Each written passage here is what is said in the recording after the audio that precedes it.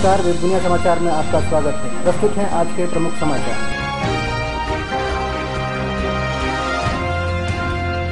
Tihar jail आतंकवादियों के निशाने पर सुरक्षा बढ़ाई। आतंकवादी संगठन तिहाड़ जेल में बंद आतंकवादियों को छुड़ाने के लिए इसे निशाना बना सकते हैं। खुफिया एजेंसियों से मिली सूचना के बाद जेल की सुरक्षा और बढ़ा दी गई।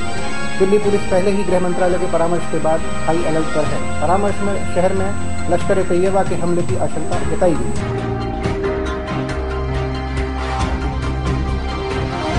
तीन हज़ार आतंकवादियों को फांसी पर लटकाएँ, पाक सेना प्रमुख शरीफ ने कहा। पेशावर में आतंकवादियों द्वारा मासूम बच्चों की हत्या के बाद पाकिस्तान के सेना प्रमुख जनरल राहिल शरीफ ने एक ट्वीट में प्रधानमंत्री नवाज़ शरीफ से कहा है कि देश की जेलों में बंद तीन हज़ार से ज़्यादा आतंकवादियों को 48 घंटे के भीतर फांसी पर लटका दिया जाए। एक अन्य ट्वीट में जनरल ने आतंकवादियों से कहा कि तुमने हमारे बच्चों को मारा है, अब तुम इसका खामियाजा भुगतोगे। बच्चों के खून की हर बूंद की कीमत तुम्हें चुकानी होगी। यह मेरा वादा है।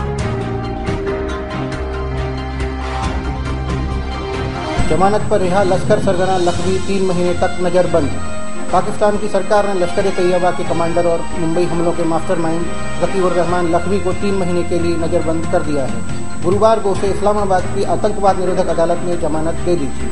सरकार ने यह फैसला मेंटेनेंस ऑफ़ पब्लिक और कानून के तहत लिया है। लखवी फ़िलहाल रावलपिंडी की अडियाला जेल में है। सरकार ने लखवी की जमानत के खिलाफ उच्च अदालत में भी अपील करने का फैसला किया है। दूसरी ओर लखवी को जमानत मिलने के मसले पर भारत की विदेश मंत्री सुषमा स्वराज सोमवार को संसद में बयान देंगी।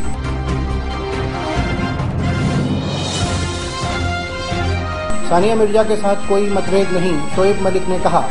क्रिकेटर शोएब मलिक ने कहा कि भारतीय टेनिस स्टार सानिया मिर्ज़ा के साथ उनका वैवाहिक जीवन सुखमय है। दोनों के बीच किसी तरह का मतभेद या समस्या नहीं है। मलिक ने जंग अखबार से कहा कि अभी भी सानिया और मैं दुबई में साथ हैं और एक दूसरे के साथ ज़्यादा से ज़्यादा समय बिताना चाहते हैं। लेकिन पेशेवर खिलाड़ी होने के कारण हमें अपनी व्यस्तताओं का भी ध्यान रखना पड़ता है। हालाँकि इसके यह मायने नहीं है कि हमारी शादी खतरे में है।